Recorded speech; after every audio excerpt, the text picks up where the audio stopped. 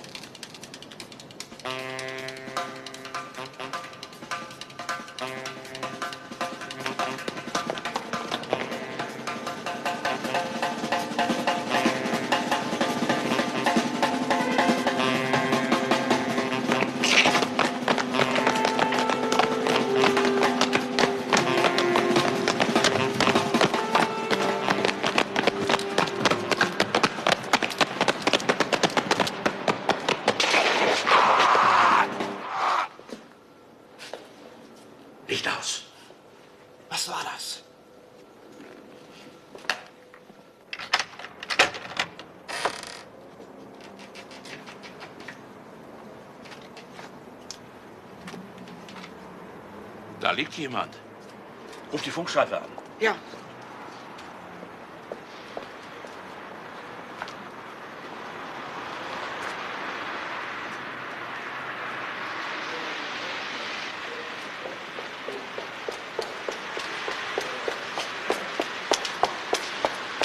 Die Funkstreife ist unterwegs.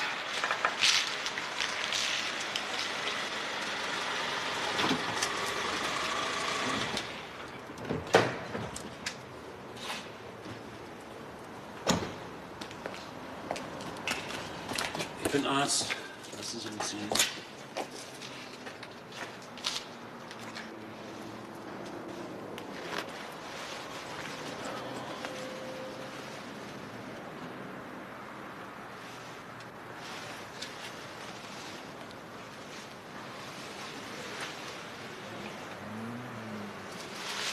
Der Mann ist tot. Wer um Himmels Willen hat den so zugerettet? Keine Ahnung. Wir haben nur einen Schrei gehört. Der Kehlkopf ist eingedrückt. Kennt jemand den Toten? Mein Kellner hat gerade bei mir Schluss gemacht und ist raus auf die Straße.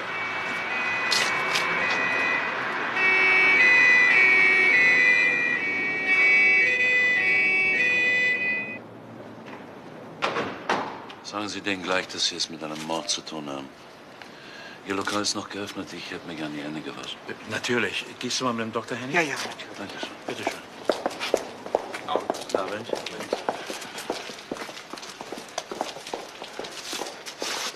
32. Auch kein Alter zum Sterben. Zumindest nicht so. Äh, Die Mordkommission ist auch verständigt. Ich habe 110 angerufen. Ja, was haben Sie denen gesagt? Äh, Dass da wahrscheinlich jemand umgebracht worden ist. Na ja, dann geht es automatisch an die Mordkommission. Sagen Sie, äh, darf ich hier warten?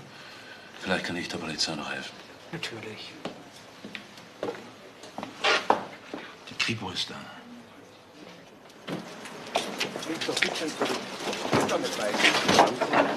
Namens, wer hat denn den Tod festgestellt? Wie heißt der aus? Ein Dr. Schöne, er war mit im Lokal. Ja.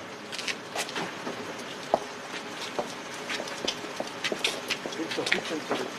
Damit weiter. Ich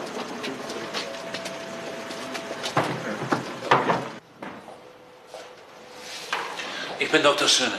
Oberinspektor Derek. Guten Abend. Inspektor Klein, grüß Gott. Guten Abend. Ja, also ich habe diesen Toten untersucht, kurz nachdem... Ein Überfall war das wahrscheinlich, denke ich. Ja. Wissen Sie vielleicht auch, wer der Täter ist? Ja, eines steht zumindest fest, die Todesursache. Also dieser eingedrückte Kehlkopf deutet darauf hin, dass der Mann... Ja, er hat ihn von vorne, von vorne erwürgt und dann haben die Daumen auch die größte Kraft. Nicht schlecht.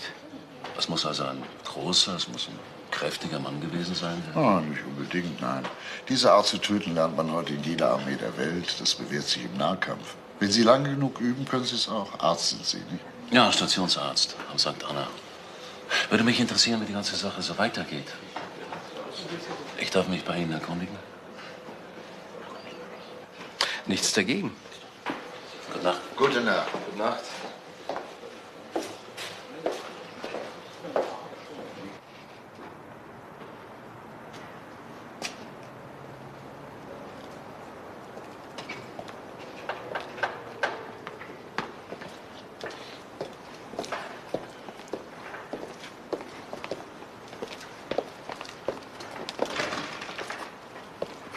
Er wollte nach Hause. Kann nicht sein, dass er da nicht angekommen ist. Sind Sie ein Zyniker? Ich habe schon so viele Menschen sterben sehen. Man erträgt den Tod leichter, wenn man ihn als eine Art natürliches Zuhause ansieht. Mehr wollte ich damit nicht sagen. Ja, ja. Schon gut. Gute Nacht. Gute Nacht.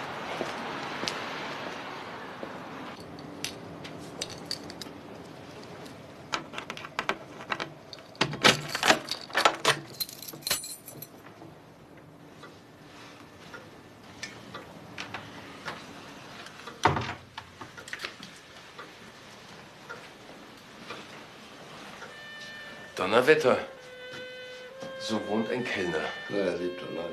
Ja, dann schauen wir mal. Sehen wir uns mal um. Versuchen wir rauszukriegen, wer Herr Lickmann war.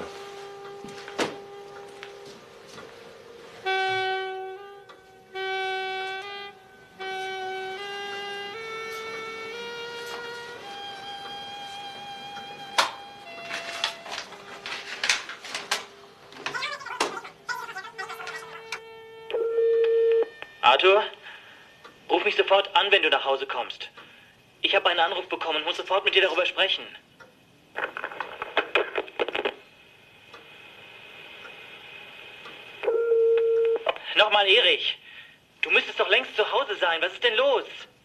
Ich wiederhole, ruf mich sofort an. Es ist verdammt wichtig. Wer ist Erich?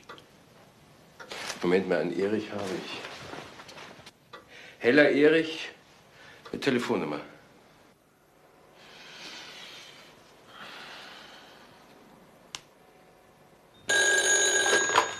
Na endlich, Arthur. Menschenskind, wo steckst du denn? Ich warte schon auf deinen Anruf. Weißt du eigentlich, wie spät es ist? Es ist halb vier Uhr morgens. Wer ist denn da? Hier ist Kriminaloberinspektor Derrick. Ich bin in der Wohnung von Arthur Lickmann. Wo wohnen Sie, Herr Heller? In der Kaulbachstraße. Wieso fragen Sie? Können Sie sofort kommen? Herr Lickmann ist ungefähr vor drei Stunden ermordet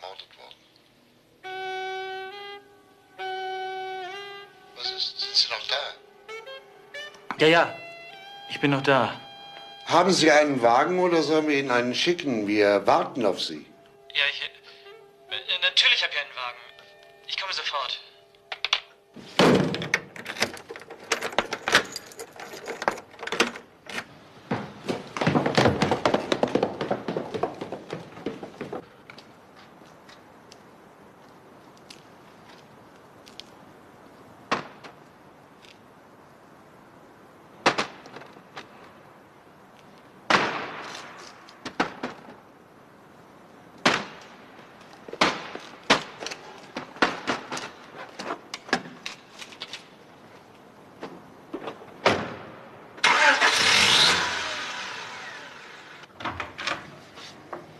Kommen Sie ruhig rein. Bitte.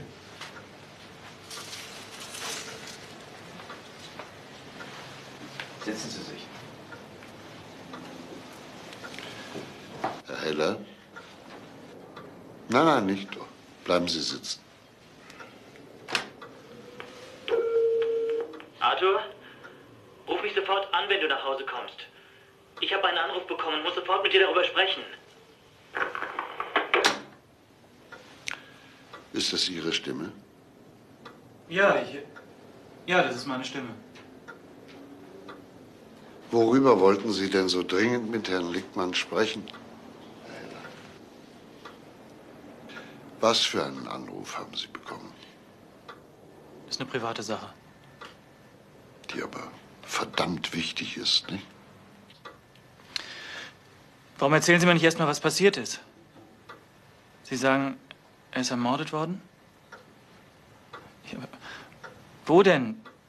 Wie denn? Von wem denn?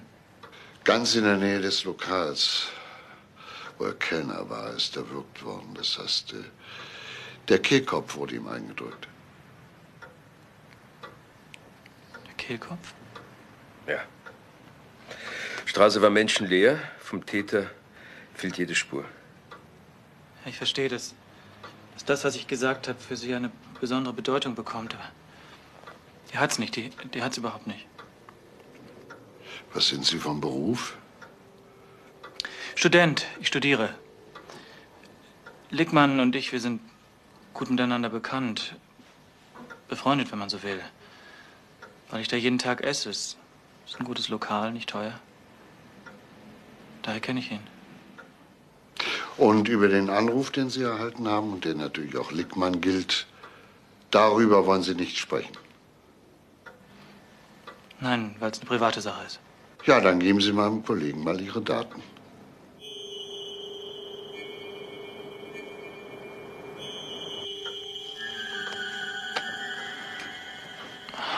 Reicht das jetzt? Ja, Sie können gehen. Dankeschön.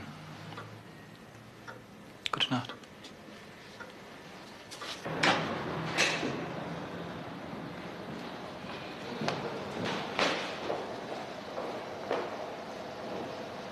Ist da jemand?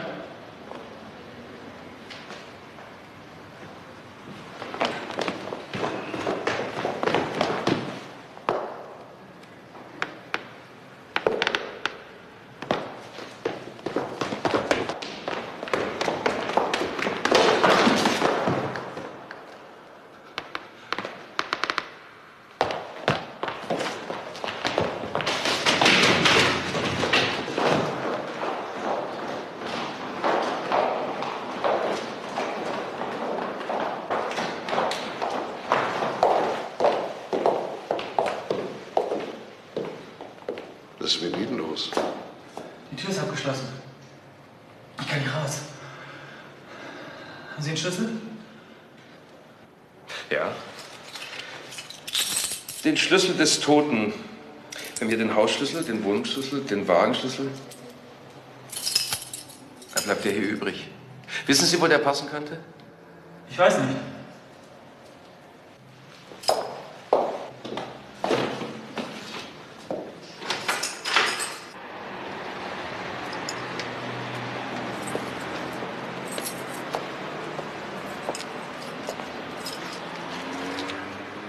Sie sind in Panik. Hm?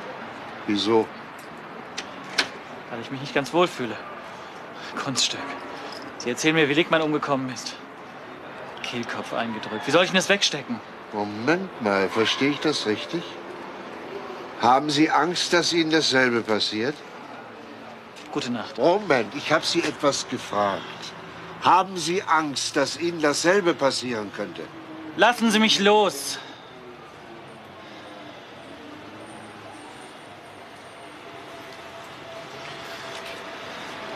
Was ich denke, geht Sie nichts an.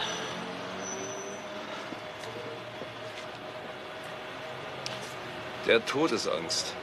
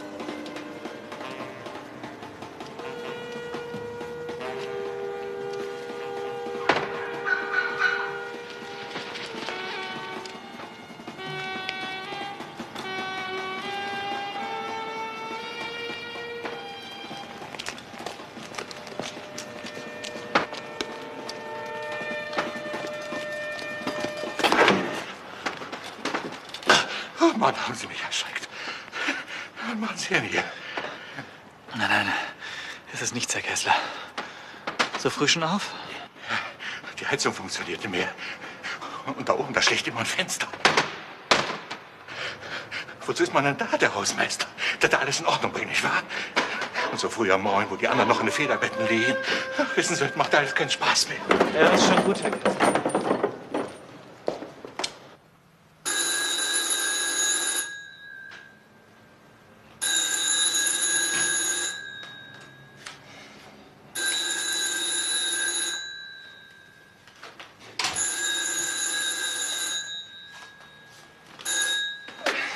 Wer ist denn da? Ich bin's, Erich. Ich sag mal, weißt du, wie spät es ist? Es ist 4 Uhr früh. Was ist denn los? Arthur ist tot.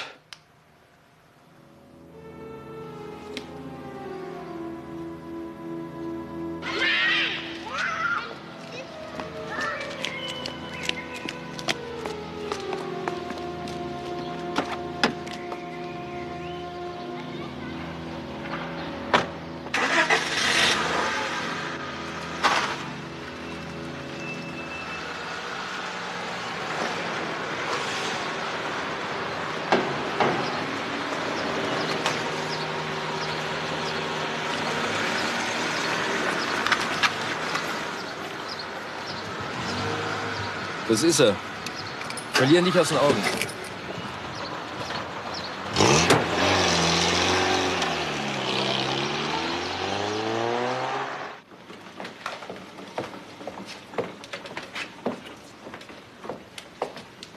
Da sehen Sie, Frau Bayer. Ihre Sorge war unbegründet. In zwei Wochen sind Sie zu Hause. Danke, Herr Doktor. Wen hat jemand für mich angerufen? Nein, niemand.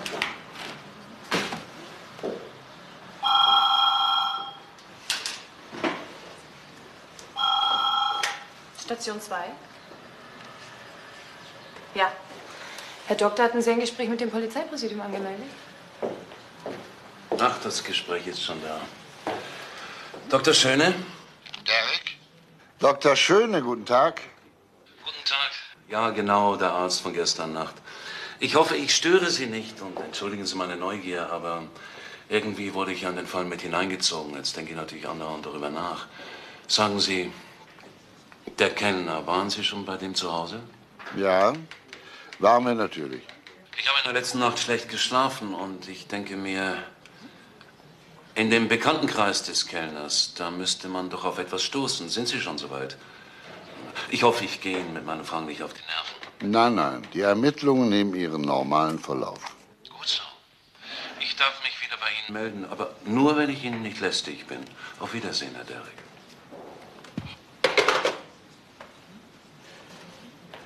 Sie haben mit der Mordkommission telefoniert. Ja. Äh, letzte Nacht ist jemand ermordet worden. Ich kam da zufällig vorbei, habe das Opfer untersucht. Ein Kellner, der erwürgt wurde. Und Sie haben nichts mehr machen können. Aber was ist schon ein Mord? Das Ende einer Geschichte. Die meisten Morde verdienen das Interesse nicht, das man ihnen entgegenbringt.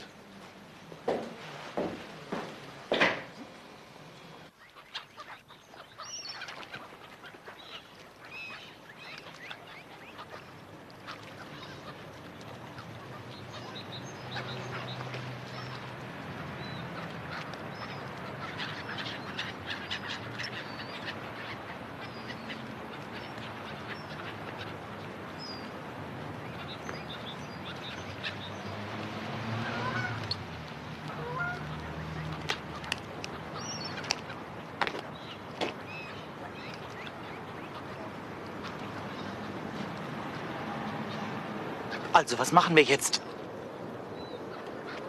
Arthur ist tot. Man hat gesagt, dass man ihn umbringt und man hat es auch getan. Und zwar nur zwei Stunden später. Jetzt frage ich dich, was machen wir? Der Mann, der mich anrief, hat alle unsere Namen aufgezählt. Soll ich das der Polizei sagen? Bist du verrückt? Unter keinen Umständen. Also, was machen wir? Ich habe keine Ahnung. Sicher ist es völlig falsch, jetzt in Panik zu geraten. Wir machen überhaupt nichts. Wenn da irgend so ein Verrückter rumläuft, seine Sache. Außerdem denken wir dran. Niemand kann uns was nachweisen. In Ordnung. Albert? Deine scheiß Angst.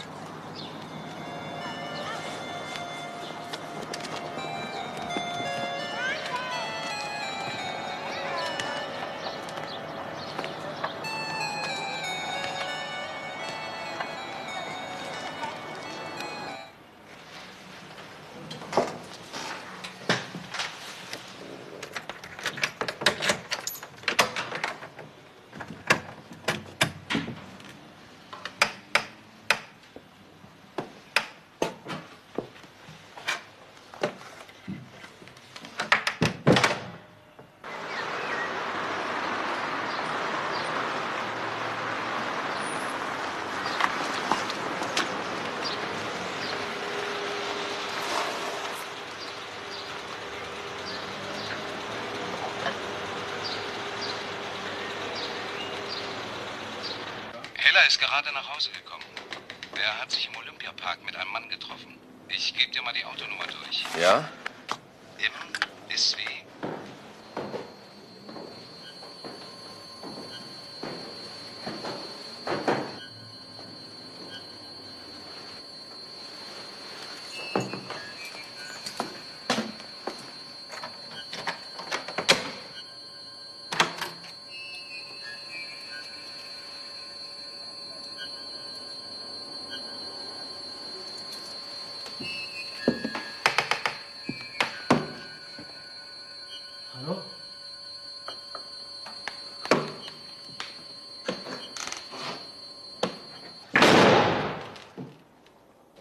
Auf dem Olympiagelände. Er hat ein intensives Gespräch geführt mit einem Mann. Den Namen haben wir über die Autonummer rausbekommen. Er heißt Albert Lussmann. Na gut, dann gehen wir jetzt auf Heller los. Wo ist er? Zu Hause. Der Berger steht noch vor seinem Haus. Bitte tu mir einen Gefallen und ruf ihn an, er soll herkommen und zwar sofort. Du, der Berger könnte ihn gleich mitbringen.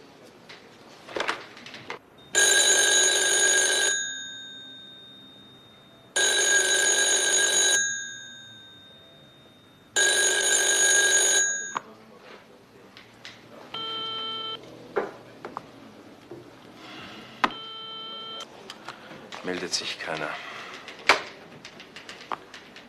Nein, er hat das Haus nicht verlassen. Er soll raufgehen, verdammt. Du sollst raufgehen, verdammt.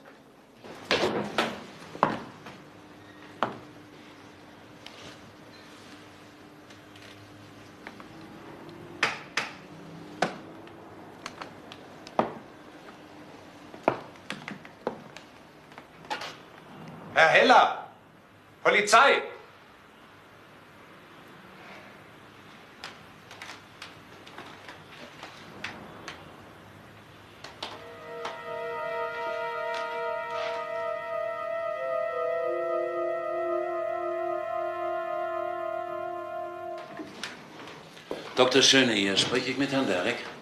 Ja? Ich habe gerade die Radiodurchsage gehört. Der Mord an dem Mann, der erwürgt wurde. Ich habe nur eine Frage. War der Kehlkopf eingedrückt? Ja. Hm. Das lässt doch auf denselben Mörder schließen. Ja, das wäre möglich. Das ist ja interessant. Ja, das, äh, ja, das finden wir auch, ja. Ich weiß, ich störe Sie, aber mir gehen so viele Fragen durch den Kopf. Wer war der Tote, sein Beruf, sein Charakter, seine Beziehung zu dem Kellner?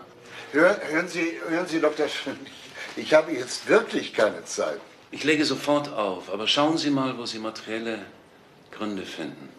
Materielle Gründe, wieso? Wie kommen Sie denn auf materielle Gründe? Jeder ist auf seinen Vorteil aus, jeder hat seine materiellen Interessen. So, nun bitte ich Sie für die Störung um Entschuldigung. Harry, Ja. ein Arzt, der meint, wir sollten ein materielles Motiv finden. Also jetzt wird er langsam lästig. Ein bisschen.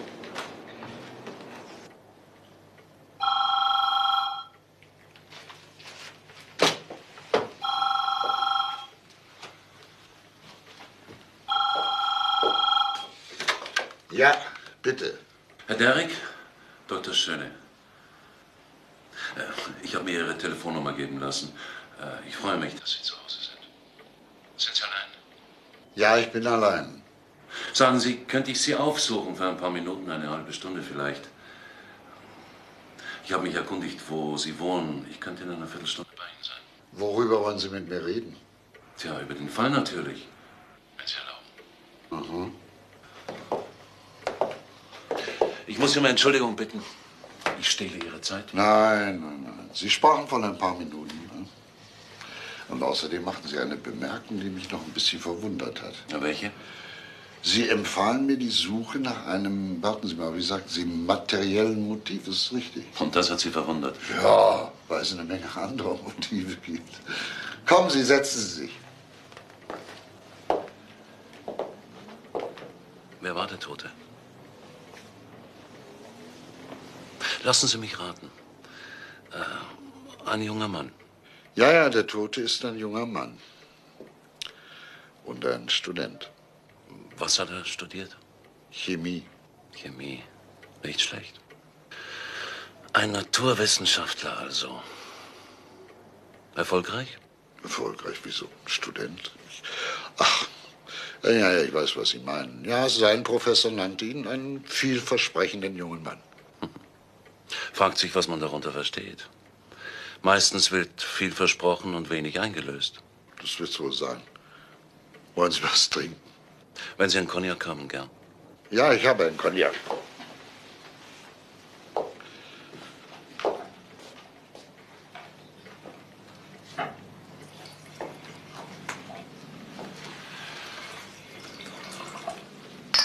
Eine sehr hübsche Wohnung haben Sie. Danke. Geschmackvoll eingerichtet. Wohnen Sie alleine hier? Ja, ich wohne alleine hier, aber ich komme ganz gut mit mir zurecht. Geht's Ihnen wie mir? Das? Unverheiratet? Ja. Bisher gescheitert auf der Suche nach einem Pendant. Ja, man hat halt so seine Vorstellungen, Ja, von denen man nichts abstreichen will. bitte sehr. Danke. Der junge Mann war also Chemiker und ein Begabter. Ein vielversprechender junger Mann. Ja, wahrscheinlich hat er ein Labor im Keller. Der Schlüsselbund des Kellners. Hausschlüssel, Autoschlüssel, Wohnungsschlüssel.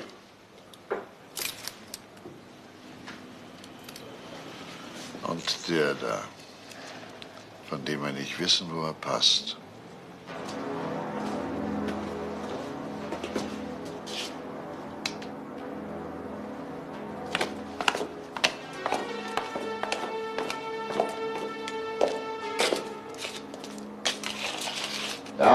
Hausmeister sagt, das ist Nickmanns Keller.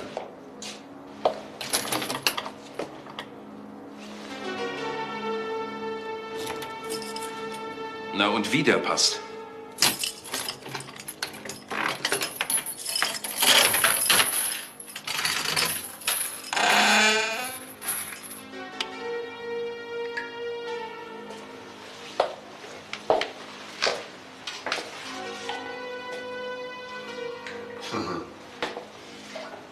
Sag mal, bist du ein Hellseher? Ich nicht, aber Dr. Schöne hat mich gestern Nacht noch zu Hause besucht. Er wollte wissen, wer der neue Tote ist. Ich habe ihm gesagt, ist ein junger Student, Chemie studiert. Und dann sagt er, hat er ein Labor im Keller? Das hat er gesagt? Naja, er sagte das so ganz nebenher. Aber nun hat er ein Labor im Keller. Zwar nicht in seinem eigenen, aber immerhin im Keller des Kellners. Da ist ja Dr. Schöne ein Hellseher. Ich glaube nicht an Hellseher, ich glaube nur an Wissende. Und ich möchte gerne wissen, was der Heller hier experimentiert hat oder ob er hier etwas produziert hat. Und damit wären wir wieder bei Dr. Schöne, der uns empfohlen hat, nach einem materiellen Motiv zu suchen. Nicht? Herr Dr. Schöne? Telefon für Sie. Danke, ja. Wieder die Mordkommission. So, so. Ja, bitte, Dr. Schöne hier. Guten Tag, Herr Doktor. Ich rufe Sie an, weil ich das Bedürfnis habe, mich bei Ihnen zu bedanken. Wofür wollen Sie sich bedanken? Nun, als wir gestern von dem Chemiestudenten sprachen, da, naja, da sagten Sie so ganz beiläufig, vielleicht hat er ein Labor im Keller. Und stellen Sie sich das mal vor. Er hat ein Labor im Keller. Er hat eins. Doktor, würden Sie uns mal besuchen, bitte? Wie schön, dass Sie sich frei machen konnten. Kommen Sie rein, Herr Doktor. Tag. Guten Tag. Sagen Sie, sind das die? Ja, das sind die Unterlagen von unserem Chemiestudenten. Interessant. Äh, Darf ich mal sehen? Ja, natürlich. Kommen Sie. Setzen Sie sich, Doktor.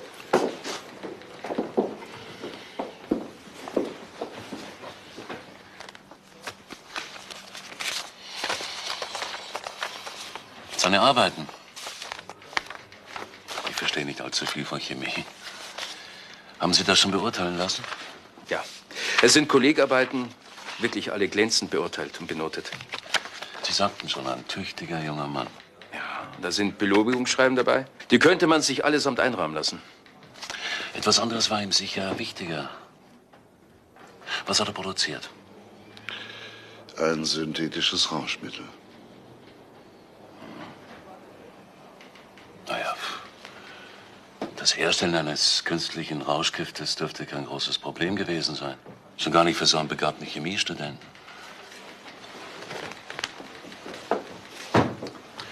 Vielleicht war er noch am Anfang und auch damit beschäftigt, moralische Bedenken aus dem Weg zu schieben.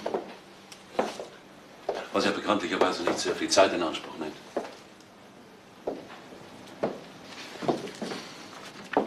Haben Sie das schon durchgesehen? Na ja.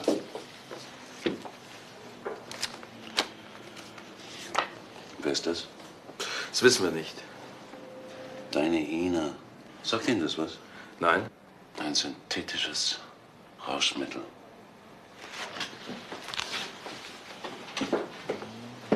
Einige wirken nach fünf Sekunden, nach zehn Sekunden und die Wirkung ist voll da. Ich habe eine wissenschaftliche Abhandlung gelesen. Es ist, als explodiert etwas im Gehirn. Wie wenn ein Blitz einschlägt und den ganzen Menschen in Brand steckt. Alles Menschliche brennt hinweg. Der Mensch wird zur Wüste. Wie kann ich Ihnen helfen? Das tun Sie schon, Doktor. Das tun Sie unablässig.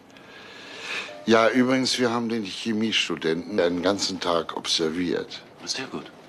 Er hat sich äh, nur wenige Minuten vor seinem Tod äh, mit einem anderen jungen Mann getroffen. Der Mann heißt Lussmann und er ist ebenfalls Student.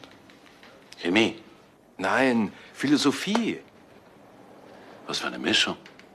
Ja, wir werden den jungen Mann jetzt besuchen. Wollen Sie mitkommen? Aber gern, sehr gern.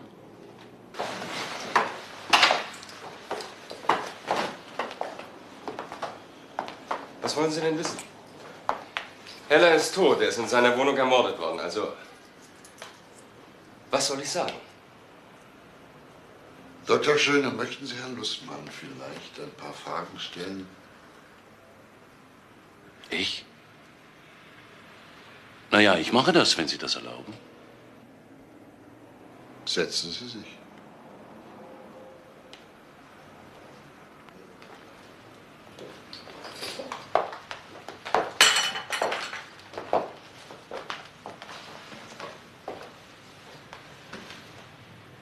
Sie sind Herr Lussmann, Student der Philosophie. Ja. War das, oder besser, ist das Ihr Wunschstudium? Weiß ich nicht, ob ich das so sagen kann. Ist das wichtig? Ja. Es ist dann wichtig, wenn man von einem Menschen ein Bild bekommen will. Sie studieren Philosophie und ich frage Sie, warum? Was verbindet Sie damit? Ist das die Suche nach der Wahrheit? Als Freund der Wissenschaft, der Menschen und der Künste? Ich verstehe Ihre Frage nicht. Was spielt das für eine Rolle, warum ich Philosophie studiere? Sind Sie dagegen, dass ich eine solche Frage stelle? Hm? Fragen Sie nur. Ich frage Sie, um eine Information zu bekommen, die mir sagt, wer Sie sind. Und wie glaubwürdig Ihre Antwort ist, wenn ich Sie jetzt frage. Wussten Sie, dass Ihr Freund Erich Heller, der Chemiestudent, in einem Kellerlabor synthetische Rauschmittel herstellte?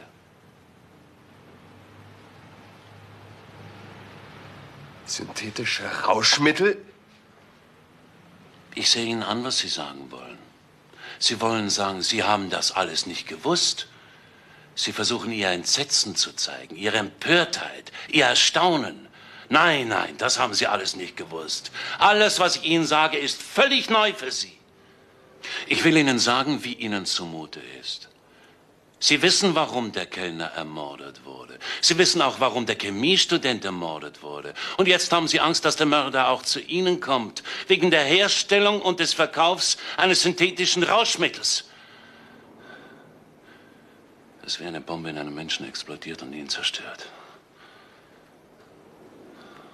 Sind Sie verrückt? Das ist falsch. Das ist alles falsch. Sagen Sie mal, wer ist der Mann überhaupt? Kennen Sie ihn nicht? Nein, nein. Kennen Sie Herrn Heller? Ja, natürlich kenne ich ihn. Aha, Sie haben sich mit ihm ein paar Stunden vor seinem Tod auf dem Olympiagelände getroffen, nicht wahr? Da gibt es sogar ein Foto davon. Worüber haben Sie miteinander gesprochen? Ich weiß es nicht mehr. Ich widerspreche allem, was ich da gehört habe. Ich weiß nichts, verstehen Sie? Absolut nichts. Ich habe nichts zu tun mit Heller. Und schon gar nicht mit seinem. äh, Was haben Sie gesagt? Was hat er? Ein Labor hat er gehabt? Davon weiß ich nichts. Ist mir völlig unbekannt. Das ist eine Aussage, die Sie machen. Sie kommen morgen zu mir ins Präsidium. Wir werden Ihre Aussage zu Protokoll nehmen und das werden Sie dann unterschreiben müssen. Ja, ja, gut. Dr. Schöne. Dr. Schöne. Was ist los mit dem Mann? Wer ist das? Was weiß er? Ich denke, das haben wir bereits festgestellt. Er hat uns einen Hinweis gegeben. Er gibt uns Hinweise. Andauernd gibt er uns Hinweise.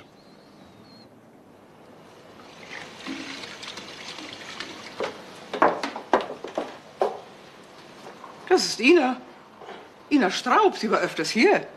Mit wem, äh, wissen Sie, mit wem sie befreundet war? Sie war mit allen gut Freund.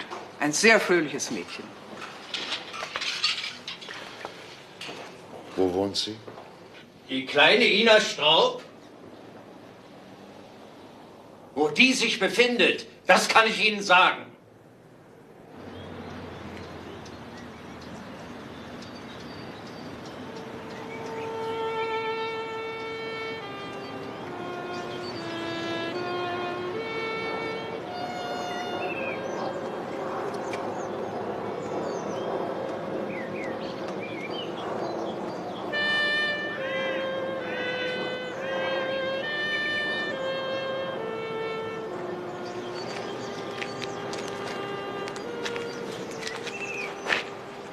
Das ist sie.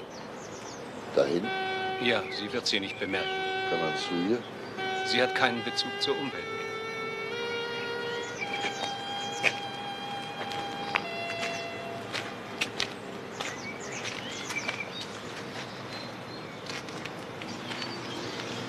Guten Tag. Ich möchte mich gerne einen Augenblick zu Ihnen setzen. Darf ich das?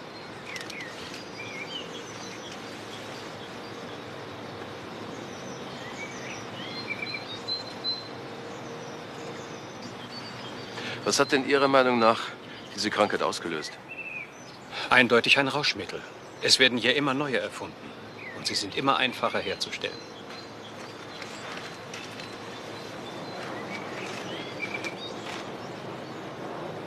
Ich habe eigentlich nur eine Frage an Sie. Kennen Sie einen jungen Mann, einen Chemiker? Er heißt Heller. Erich Heller.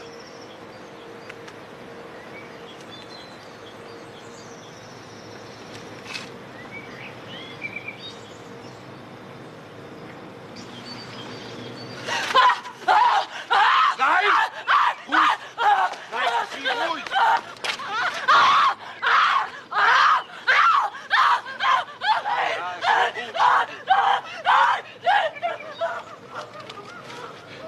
Was haben Sie zu ihr gesagt?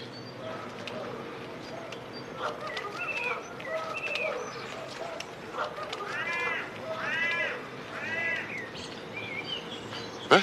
Was ist? Was haben Sie zu ihr gesagt? Ich habe einen Namen genannt. Weiter nichts, nichts. Das war deprimierend eben. Ich habe sowas noch nie erlebt. Der Arzt sagt, eindeutig krank durch synthetische Rauschmittel. Jetzt haben wir die zwei Welten erlebt. Die Empfindungslose, wie der Arzt sagt. Und die andere.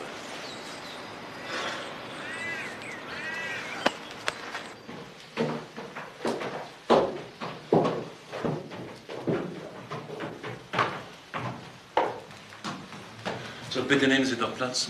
Danke. Darf ich Ihnen irgendetwas anbieten? Nein. Nein, danke.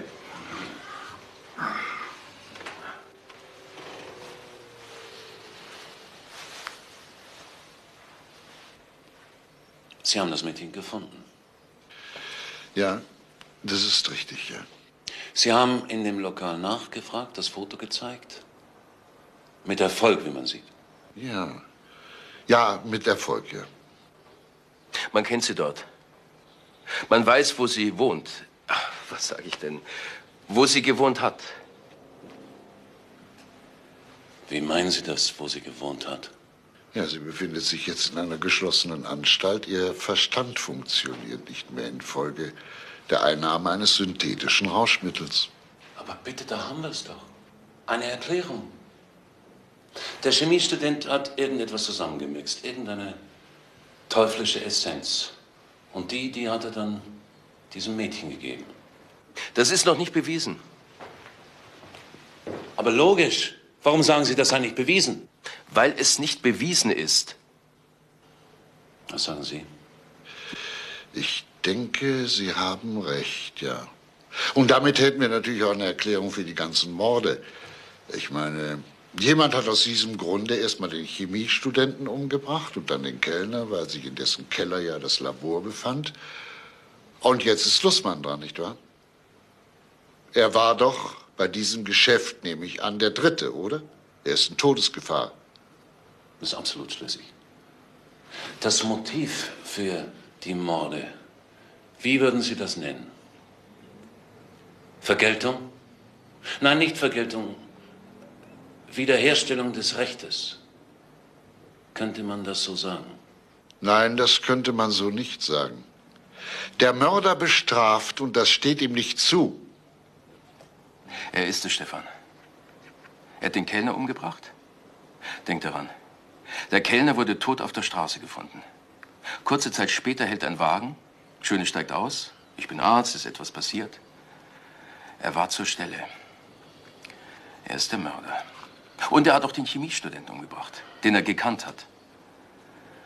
Er hat alles gewusst und hat uns ganz langsam hingeführt. Bis zu dem Mädchen, das er auch gekannt hat. Er ist ein Mörder, der die Polizei auf seine eigene Spur setzt. Ist er verrückt? Normal ist er nicht.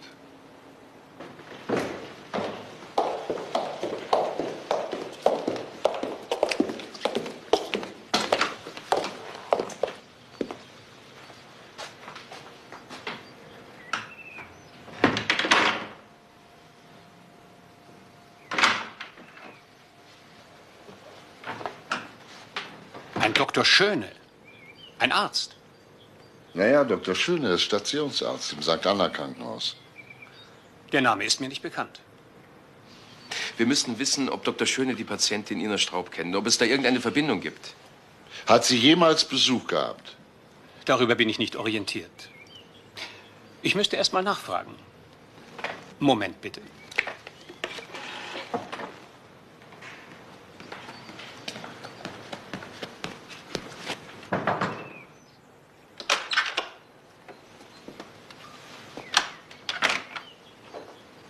Das ist Herr Donath. Die Herren sind von der Kriminalpolizei. Ja, ich weiß. Wir sind uns bereits begegnet. Ich glaube, ich habe Sie ziemlich kräftig zur Seite gestoßen. Ich bitte um Entschuldigung. Ich habe dafür volles Verständnis. Es war ein besonders heftiger Anfall. Es geht darum, haben Sie im Zusammenhang mit unserer Patientin jemals den Namen Dr. Schöne gehört? Dr. Schöne. Ein Arzt? Ja, ein Arzt. Nein, niemals. In welchem Zusammenhang wird danach gefragt? Im Zusammenhang mit zwei Morden. Wir wissen außerdem, wer dieses Rauschmittel hergestellt hat, das Ino Straub genommen hat. Also noch einmal. Der Name Dr. Schöne, der ist Ihnen nicht bekannt. Sie haben den Mann hier nie gesehen. Er war nie hier. Und es gibt keine Verbindung zu Ina Straub. Hm? Nein. Können wir das Mädchen noch was sehen? Ja, aber Sie können nicht mit ihr reden. Sie kann keine Beziehung zu Ihren Worten herstellen. Gehen wir.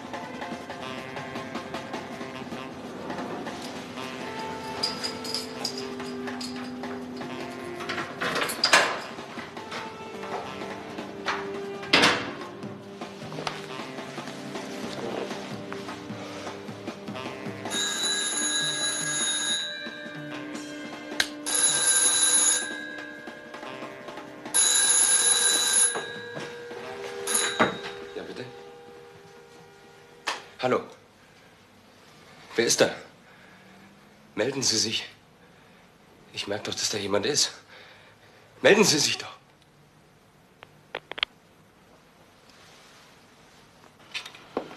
Harry, es gibt noch eine Möglichkeit. Ach, guten Abend. Entschuldigen Sie bitte. Wir hätten eine Frage an Sie. Kriminalpolizei. Ist Ihnen der Name Ina Straub ein Begriff? Ja, sie war ja mal Patientin. Wann war das? Ist jetzt drei bis vier Monate her. Sie wurde hier eingeliefert als Notfall. Und sie wurde hier behandelt. Von Dr. Schöne? Von Dr. Schöne. Ich nehme an, Dr. Schöne hat großen Anteil an Ihrem Schicksal genommen, nicht wahr? Ja. Das war ein besonders tragischer Fall. Uns allen hat das Mädchen sehr leid getan. Jetzt ist sie in einer psychiatrischen Anstalt ein hoffnungsloser Fall. Er ist der Mörder. Er muss es sein. Ja, das ist wohl als sicher anzunehmen. Wie gehen wir jetzt vor? Wir fahren ins Büro.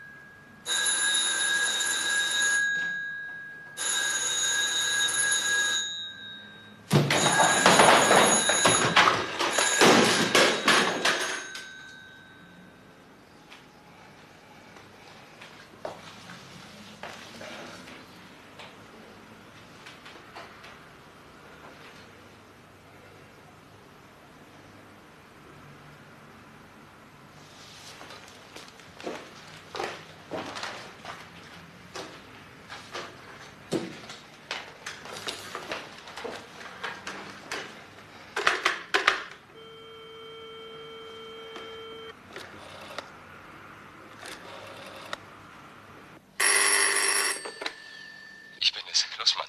Man quält mich mit Telefonanrufen, aber niemand meldet sich. Was soll ich machen? Dennis, was nicht, das würden Sie ertragen müssen. Oder äh, legen Sie doch einfach auf. Ich kann es nicht ertragen.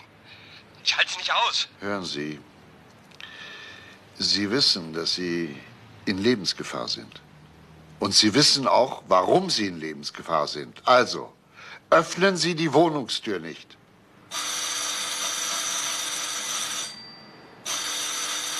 Es klingelt an meiner Wohnungstür. Tun Sie, was ich Ihnen gesagt habe. Warten Sie. Bleiben Sie am Apparat. Was macht er? Er fragt, wer da ist. Wer ist da? Sagen Sie, wer da ist. Ich mach die Tür nicht auf, wenn Sie nicht sagen, wer da ist.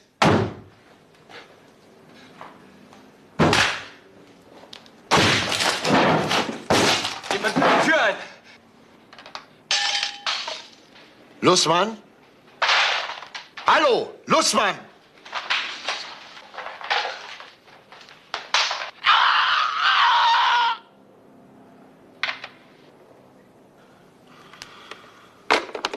Harry, die Nummer von Dr. Schöne.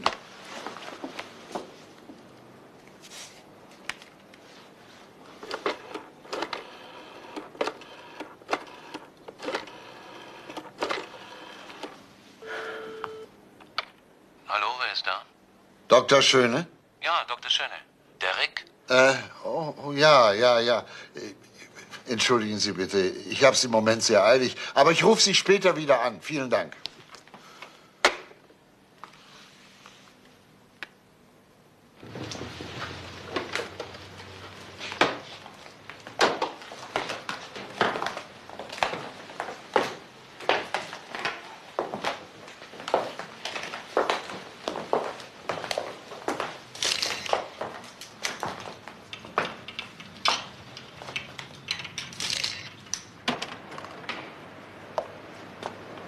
So, jetzt möchte ich Dr. Schöne sehen. Ich auch.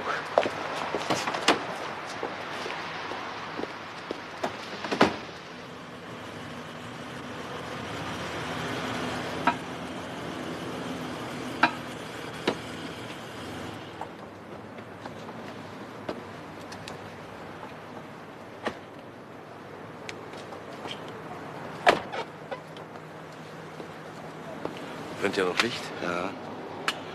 Sein Wagen steht noch nicht in der Garage.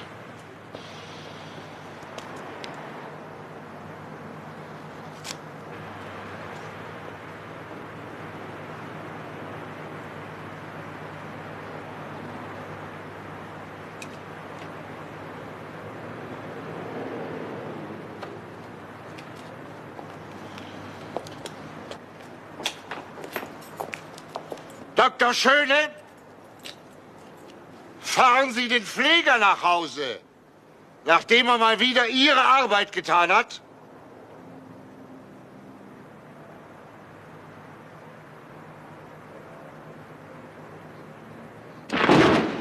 Ich war der Arzt, zu dem sie zuerst gebracht wurde. Ich habe um das Leben des Mädchens gekämpft wie ein Verzweifelter. 14 Tage, 14 Nächte. Herrgott, lass es mich schaffen. Lass sie nicht auf so schreckliche Weise zugrunde gehen. Ich habe es nicht geschafft. Ich habe den Kampf verloren. Sie kam in die geschlossene Anstalt. Endstation. Ich habe sie besucht.